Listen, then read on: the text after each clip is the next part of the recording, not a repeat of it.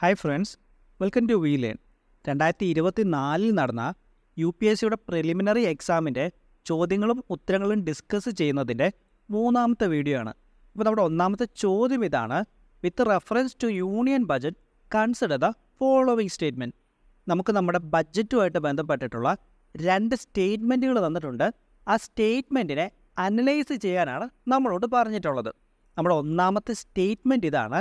The union finance minister on behalf of the prime minister lays the annual financial statement before both houses of the parliament article നൂറ്റി പന്ത്രണ്ട് അനുസരിച്ച് നമ്മുടെ ഭരണഘടനയിൽ നമ്മൾ ബഡ്ജറ്റിനെ refer ചെയ്യുന്നത് ആനുവൽ ഫൈനാൻഷ്യൽ സ്റ്റേറ്റ്മെന്റ് എന്നാണ്. പക്ഷേ ഇവിടെ ഒരു കാര്യം നമ്മൾ ഓർത്തിരിക്കേണ്ടത് union finance minister budget present ചെയ്യുന്നത് on behalf of prime minister അല്ല പകരം on behalf of president of ഇന്ത്യയാണ്.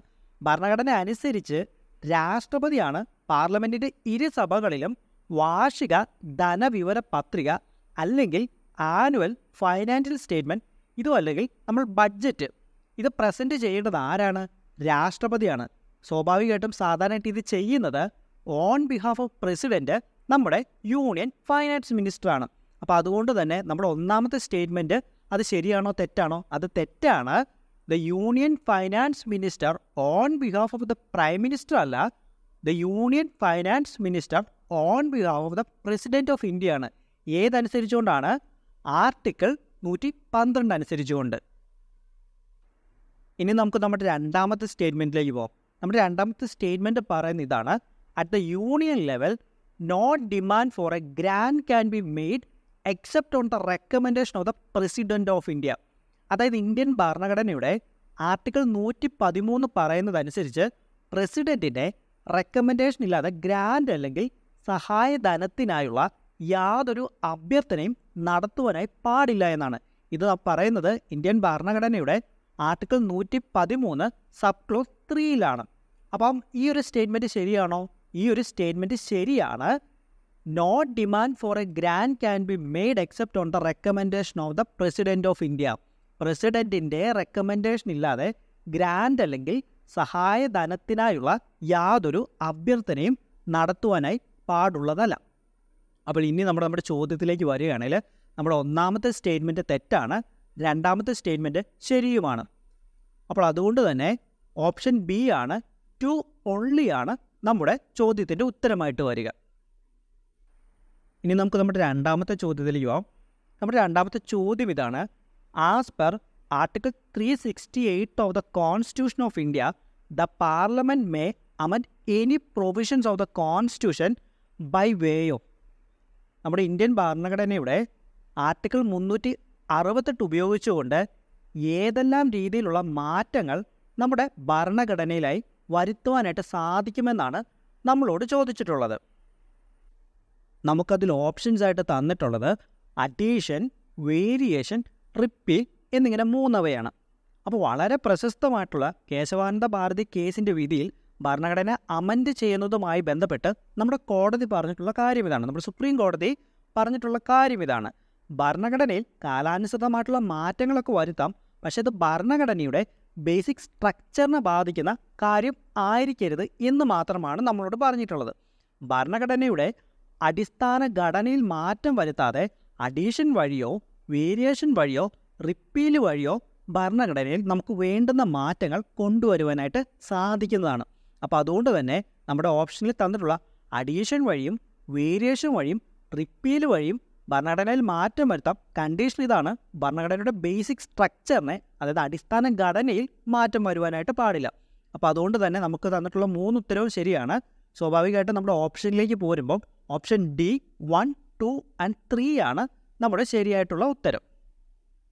ഇനി നമുക്ക് നമ്മുടെ മൂന്നാമത്തെ ചോദ്യത്തിലേക്ക് പോകാം നമ്മുടെ മൂന്നാമത്തെ ചോദ്യം ഇതാണ് the total fertility rate in an economy is defined as basically വളരെ സ്ട്രെയിറ്റ് ഫോർവേഡ് ആയിട്ടുള്ള ചോദ്യമാണ്.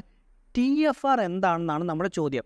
T F R means total fertility rate അതായത് നമ്മളിപ്പോൾ ഒരു സ്ത്രീയെ കൺസിഡർ ചെയ്യുക. ആ സ്ത്രീക്ക് പ്രത്യുൽപാദനം നടത്തുവാൻ സാധിക്കുന്ന ഒരു പ്രായമുണ്ടല്ലോ. ആ ഒരു പ്രായം വരെ അദ്ദേഹം എത്ര ജീവനുള്ള കുട്ടികൾക്ക് ജന്മം നൽകി എന്നതിന്റെ ആവറേജ് നമ്പറാണ് ടി എഫ് ആർ അല്ലെങ്കിൽ total fertility rate in an economy എന്ന് വിശേഷിപ്പിക്കുന്നത്.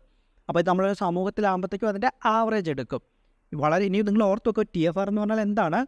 ഒരു സ്ത്രീക്ക് അദ്ദേഹത്തിന്റെ പ്രത്യുൽപാദന ശേഷിയുള്ള അത്രയും കാലം എത്ര ജീവനുള്ള കുട്ടികൾക്ക് അദ്ദേഹം ജന്മം നൽകുന്നുണ്ട്? എന്നതിന്റെ ആവറേജ് കണക്കാണ് ടി എഫ് ആർ അല്ലെങ്കിൽ ടോട്ടൽ ഫെർട്ടിലിറ്റി റേറ്റ് ഇനി നമ്മുടെ ഓപ്ഷൻസിലേക്ക് നമ്മൾ നോക്കുകയാണെങ്കിൽ നമ്മുടെ ഓപ്ഷൻ ഡി ഒന്ന് നോക്കിക്കേ.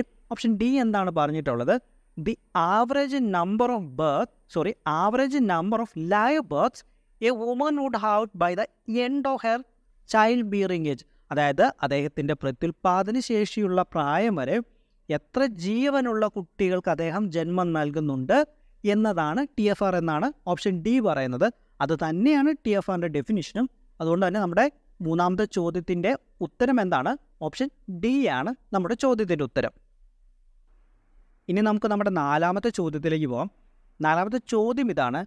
Consider the following statement in respect of the digital rupee digital റുപ്പീസുമായിട്ട് ബന്ധപ്പെട്ട് നമുക്ക് ചില സ്റ്റേറ്റ്മെന്റുകൾ തന്നിട്ടുണ്ട്. ആ സ്റ്റേറ്റ്മെന്റിന്റെ അനലൈസ് ചെയ്യാനാണ് നമ്മളോട് പറഞ്ഞിട്ടുള്ളത്. അപ്പോൾ അതിലേക്ക് പോകും മുമ്പ് എന്താണ് ഡിജിറ്റൽ റുപ്പേ നമ്മളിപ്പോൾ ഇടയ്ക്കൊക്കെ ന്യൂസ് പേപ്പേഴ്സിൽ കാണാറുണ്ട് C B D C C B D C അല്ലെങ്കിൽ സെൻട്രൽ ബാങ്ക് ഡിജിറ്റൽ കറൻസി നമ്മുടെ പ്രിന്റഡ് കറൻസിക്ക് പകരമായി ഇലക്ട്രോണിക് കറൻസി എന്ന് പറയുന്ന കൺസെപ്റ്റാണ് ഡിജിറ്റൽ റുപ്പി അപ്പോൾ നമ്മുടെ ഒന്നാമത്തെ സ്റ്റേറ്റ്മെന്റ് പറയുന്ന ഇതാണ്. It is a sovereign currency issued by the reserve bank of India in alignment with its monetary policy C വളരെ സിമ്പിളായിട്ട് നമ്മൾ ഇങ്ങനെ നോർത്തേ നമ്മുടെ നാട്ടിൽ കറൻസി ഇഷ്യൂ ചെയ്യുന്നത് ആരാണ്? അത് പേപ്പർ കറൻസി ആയാലും അതിനെ അതിന്റെ ഡിജിറ്റൽ രൂപത്തിലേക്ക് മാറിക്കഴിഞ്ഞാലും അത് ഇഷ്യൂ ചെയ്യാനുള്ള ഉത്തരവാദിത്തം ആർക്കാണ് അത് നമ്മുടെ റിസർവ് ബാങ്ക് ഓഫ് ഇന്ത്യ തന്നെയാണ്. സെക്കൻഡ് പാർട്ട് പറയുന്നത് എന്താ എന്താണ്? In alignment with its monetary policy ഇപ്പം R B I printed currency ആണേലും ഡിജിറ്റൽ കറൻസി ആണേലും അത് നമ്മുടെ മാർക്കറ്റിലേക്ക് ഇറക്കുന്ന സമയത്ത് സ്വാഭാവികമായിട്ട് എന്ത് സംഭവിക്കും? മണി സപ്ലൈ കൂടും. മണി സപ്ലൈ കൂടുന്നതനുസരിച്ച് മാർക്കറ്റിൽ ഗുഡ്സിന്റെയും സർവീസസിന്റെയും ഡിമാൻഡിൽ കാര്യമായിട്ടുള്ള മാറ്റങ്ങളും വരും. അപ്പോൾ ഇത് ഡയറക്റ്റ്ലി എന്തുമായിട്ട് ബന്ധപ്പെട്ടിരിക്കുന്നു? മോണിറ്ററി പോളിസിയുമായിട്ട് ബന്ധപ്പെട്ടു ഇരിക്കുന്നു അപ്പോൾ അതുകൊണ്ട് തന്നെ നമ്മുടെ ഒന്നാമത്തെ സ്റ്റേറ്റ്മെന്റ് ശരിയാണ്. ഇനി നമുക്ക് നമ്മുടെ രണ്ടാമത്തെ സ്റ്റേറ്റ്മെന്റിലേക്ക് പോകാം രണ്ടാമത്തെ സ്റ്റേറ്റ്മെന്റ് പറയുന്നത് it appears as a liability on the R B I's balance sheet അതായത് ഇവിടെ ഒരു കാര്യം ഓർത്ത് വെക്കുക. നമ്മൾ പ്രിന്റ് ചെയ്യുന്ന reserve bank of India print ചെയ്യുന്ന പ്രിന്റഡ് കറൻസി അതായത് പേപ്പർ കറൻസി ആണെങ്കിലും ഡിജിറ്റൽ കറൻസി ആണെങ്കിലും അത് ആർ ബി ഐയുടെ ലയബിലിറ്റിയാണ് അത് ആർ ബി ഐയുടെ അസറ്റ് അല്ല അത് ആർ ബി ഐയുടെ ലയബിലിറ്റീസ് ആണ്. അപ്പോൾ എന്താണ് ഇതിന് പകരമായിട്ട് അസറ്റായിട്ട് വരുന്നത്? ഈ ഒരു പേപ്പർ കറൻസി ആണെങ്കിലും ഡിജിറ്റൽ കറൻസി ആണെങ്കിലും അത് പുറത്തിറക്കുവാനായിട്ട് ആർ ബി ഐക്ക് ഒരു സെക്യൂരിറ്റി വേണമല്ലോ ആ സെക്യൂരിറ്റിയാണ് അതിന്റെ അസറ്റ് എന്ന് പറയുന്നത്. നമ്മൾ പുറത്തിറക്കുന്ന പേപ്പർ കറൻസി ആണെങ്കിലും പുറത്തിറക്കുന്ന ഡിജിറ്റൽ റുപ്പി ആണെങ്കിലും അത് ആർ ബി ഐയുടെ ലയബിലിറ്റിയാണ് നാളെ നിങ്ങൾക്ക് ചോദിക്കാം.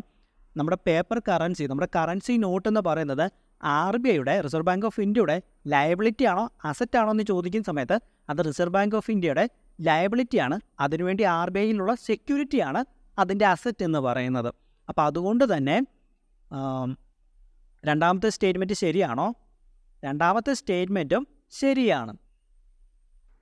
ഇനി നമ്മുടെ മൂന്നാമത്തെ സ്റ്റേറ്റ്മെന്റിലേക്ക് പോവാം. മൂന്നാമത്തെ സ്റ്റേറ്റ്മെന്റ് ഇതാണ്. It is insured against the inflation by its very design C ഒരു സ്റ്റേറ്റ്മെന്റ് ശരിയാണോ? നമ്മുടെ ഏതെങ്കിലും ഒരു കറൻസിയുടെ അത് ഡിജിറ്റൽ ആയാലോ പേപ്പർ ആയാലോ അതിന്റെ ഡിസൈൻ അനുസരിച്ച് അത് ഇൻഫ്ലേഷൻ ബാധിക്കാതിരിക്കുമോ അതിനെ? ഇൻഫ്ലേഷൻ എങ്ങനെയാണ് സാധാരണയായിട്ട് ഉണ്ടാകുന്നത്?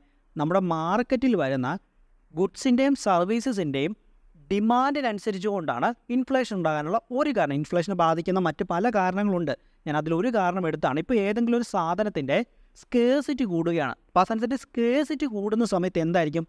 അതിന്റെ വില ഭയങ്കരമായിട്ട് കൂടും. ഞാനിപ്പോൾ ഒരു ഇൻഫ്ലേഷൻ ഉണ്ടാകാൻ വേണ്ടിയുള്ള ഒരു സാഹചര്യം ഞാൻ എടുത്തു എന്നേ ഉള്ളൂ. അപ്പോൾ ഇൻഫ്ലേഷൻ ഉണ്ടാകുന്നത് ഇങ്ങനെയുള്ള സാഹചര്യങ്ങൾ കൊണ്ടാണ്.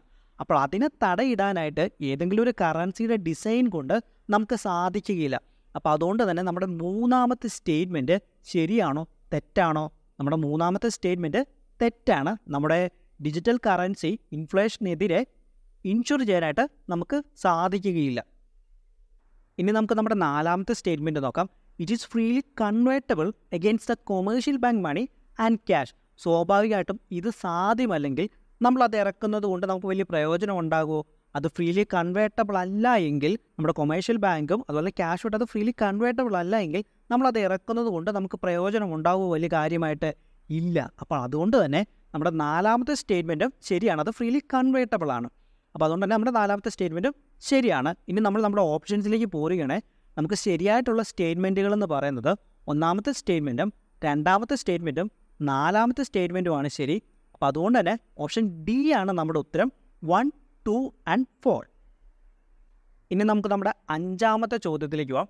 നമ്മുടെ അഞ്ചാമത്തെ ചോദ്യം ഇതാണ്. With reference to the physical capital in Indian economic concept the following pairs. അതായത് നമുക്ക് രണ്ട് ടേബിളുകൾ തന്നിട്ടുണ്ട്. ആ രണ്ട് ടേബിളിൽ ഒന്നാമത്തെ ടേബിളിൽ ഐറ്റമാണ് രണ്ടാമത്തെ ടേബിളിൽ കാറ്റഗറിയാണ്. അപ്പോൾ ആ കാറ്റഗറിയിലേക്ക് നോക്കിക്കഴിഞ്ഞാൽ നമുക്ക് കാണാനായിട്ട് സാധിക്കും. രണ്ട് തരം കാറ്റഗറിയാണ് തന്നിട്ടുള്ളത്. ഫിക്സഡ് ക്യാപിറ്റലും അതുപോലെ തന്നെ വർക്കിംഗ് ക്യാപിറ്റലും. അപ്പോൾ എന്താണ് ഫിക്സഡ് ക്യാപിറ്റൽ? എന്താണ് വർക്കിംഗ് ക്യാപിറ്റൽ എന്നാൽ സി ഫിക്സഡ് ക്യാപിറ്റൽ എന്ന് പറഞ്ഞാൽ നമ്മളൊരു ബിസിനസ് അല്ലെങ്കിൽ ഒരു സംരംഭമൊക്കെ ആരംഭിച്ചു. അപ്പോൾ അതിന്റെ വളരെ ബേസിക് ആയിട്ടുള്ള ഒരു ഫണ്ടമെന്റൽ സ്ട്രക്ചർ ക്രിയേറ്റ് ചെയ്യാൻ നമ്മൾ ഉപയോഗിക്കുന്നതാണ് അതിന്റെ ഫിക്സഡ് ക്യാപിറ്റൽ അല്ലെങ്കിൽ നമുക്ക് പറയാം ഫിക്സഡ് ആയിട്ടുള്ള അതിന്റെ അസറ്റുകൾ പർച്ചേസ് ചെയ്യാൻ വേണ്ടി നമ്മൾ ഉപയോഗിക്കുന്നതാണ് ഫിക്സഡ് ക്യാപിറ്റൽ ഇത് വളരെ ഒരു ലോങ് ടൈമിലേക്കുള്ള ഒരു ഇൻവെസ്റ്റ്മെന്റ് ആയിരിക്കും. അതിന് ഉദാഹരണം പറയുകയാണെങ്കിൽ നമ്മൾ ലാൻഡ് പർച്ചേസ് ചെയ്യുന്നു ഒരു കെട്ടിടം പർച്ചേസ് ചെയ്യുന്നു. അപ്പോൾ ഇങ്ങനെയുള്ള കാര്യങ്ങളൊക്കെ എന്തിനകത്ത് വരും? അതതിന്റെ ഫിക്സഡ് ക്യാപിറ്റലിനകത്ത് വരും. ഇനി രണ്ടാമതായിട്ട് പറഞ്ഞിട്ടുള്ളതാണ് വർക്കിംഗ് ക്യാപിറ്റൽ ഇപ്പോൾ ഒരു ബിസിനസ് ഇൻസ്റ്റിറ്റ്യൂഷനൊക്കെ പ്രവർത്തിക്കുന്ന സമയം അതിന്റെ ദൈനംദിന ചിലവുകൾക്ക് വേണ്ടി നമ്മൾ നിക്ഷേപിക്കുന്ന അല്ലെങ്കിൽ അതിന്റെ കറന്റ് അസറ്റിന് മുകളിൽ നമ്മൾ നിക്ഷേപിക്കുന്നതാണ് വർക്കിംഗ് ക്യാപിറ്റൽ ഉദാഹരണം പറയുവാണെങ്കിൽ ഇലക്ട്രിസിറ്റി ബില്ല് അതിലേക്ക് വേണ്ട സ്റ്റോക്കുകൾ നമ്മൾ പർച്ചേസ് ചെയ്യുന്നത് റെന്റ് നമ്മൾ നൽകുന്നത് ജോലിക്കാർക്ക് വേജസ് നമ്മൾ നൽകുന്നത് ഇതെല്ലാം എന്തായിട്ട് വരും? ഇതൊക്കെ അതിന്റെ വർക്കിംഗ് ക്യാപിറ്റലായിട്ടും വരും. നമ്മൾ ഐറ്റത്തിലേക്ക് പോകുന്ന സമയത്ത് നമുക്ക് ഒന്നാമതായിട്ട് തന്നിട്ടുള്ള ഐറ്റം എ ഫാർമേഴ്സ് പ്ലോ ആണ്. അതായത് ഒരു കർഷകന്റെ കലപ്പയാണ്. അതൊരു വർക്കിംഗ് ക്യാപിറ്റലാണോ അത് വളരെ ഷോർട്ട് ടൈമിലേക്ക് വേണ്ടി അദ്ദേഹം ഉപയോഗി ഉപയോഗിക്കുന്നതാണോ? അല്ല. അത് അദ്ദേഹത്തിന്റെ വർക്കിംഗ് ക്യാപിറ്റലല്ല അത് വളരെ ലോങ് ടേമിലേക്ക് അദ്ദേഹം ഉപയോഗിക്കുന്ന ഒരു വസ്തുവാണ്. അതുകൊണ്ട് തന്നെ അത് അദ്ദേഹത്തിന്റെ ഒരു ഫിക്സഡ് ക്യാപിറ്റലാണ് വളരെ ലോങ് ടൈമിലേക്ക് വേണ്ടി അദ്ദേഹം ഇൻവെസ്റ്റ് ചെയ്യുന്ന ഒന്നാണ് അദ്ദേഹത്തിന്റെ കലപ്പ എന്ന് പറയുന്നത്. അപ്പോൾ അതുകൊണ്ട് തന്നെ അതെന്താണ്? അതൊരു ഫിക്സഡ് ക്യാപിറ്റലാണ് അതുകൊണ്ട് തന്നെ നമുക്ക് ഒന്നാമതായിട്ടും തെറ്റാണ്. രണ്ടാമതായിട്ട് പറഞ്ഞിട്ടുള്ളത് കമ്പ്യൂട്ടറാണ് ഒരു കമ്പ്യൂട്ടർ എന്ന് പറയുന്നത് ഒരു ഫിക്സഡ് ക്യാപിറ്റലാണ് നമ്മളിപ്പോൾ ഒരു ഐ ടി ഫെയിം എടുക്കുകയാണ്. ഐ ടി ഫെയിം എടുക്കുന്ന സമയത്ത് അത് വളരെ ലോങ് ടൈമിലേക്കായിട്ടായിരിക്കും കമ്പ്യൂട്ടേഴ്സ് പർച്ചേസ് ചെയ്യുന്നത്. അപ്പോൾ അതുകൊണ്ട് തന്നെ ഈ കമ്പ്യൂട്ടർ എന്ന് പറയുന്നത് ഫിക്സഡ് ക്യാപിറ്റലാണോ ആണ്? വളരെ ലോങ് ടൈമിലേക്ക് ആ ഒരു ഇൻസ്റ്റിറ്റ്യൂഷന് വേണ്ട പ്രവർത്തനങ്ങൾക്കായി വളരെ ലോങ് ടൈമിലേക്ക് പർച്ചേസ് ചെയ്യുന്നതാണ് നമ്മുടെ കമ്പ്യൂട്ടർ അതുകൊണ്ട് തന്നെ അതൊരു ഫിക്സഡ് ക്യാപിറ്റലാണ് ഇനി നമ്മുടെ മൂന്നാമത്തെ ഐറ്റം എന്താണ് തന്നിട്ടുള്ളത് മൂന്നാമത്തെ ഐറ്റം യാണാണ് നമ്മുടെ നൂലുണ്ടല്ലോ. ഒരു വീവർ ഒരു നെയ്ത്തുകാരന്റെ നൂലിനെ കുറിച്ചാണ് പറഞ്ഞിട്ടുള്ളത്. നെയ്ത്തുകാരന്റെ നൂലെന്ന് പറയുന്നത് ഫിക്സഡ് ക്യാപിറ്റലാണോ അല്ല. എന്തുകൊണ്ടല്ല? കാരണം ഒരു തുണിയൊക്കെ നെയ്യുന്ന സമയത്ത് ഈ നൂൽ തീർന്നു പോകും. അതിനുശേഷം വേറെ വേറെ നൂലുകൾ ഇദ്ദേഹത്തിന് പർച്ചേസ് ചെയ്യേണ്ടതായിട്ട് ഒരു സ്റ്റോക്ക് ആയിട്ട് ഇദ്ദേഹത്തിന് പർച്ചേസ് ചെയ്യേണ്ടതായിട്ട് വരും. അപ്പോൾ അതുകൊണ്ട് തന്നെ അത് എന്താണ് അത് ഫിക്സഡ് ക്യാപിറ്റലാണോ അല്ല അത് വർക്കിംഗ് ക്യാപിറ്റലാണ് അതുകൊണ്ട് തന്നെ നമ്മുടെ മൂന്നാമത്തെ ഐറ്റം തെറ്റാണ്.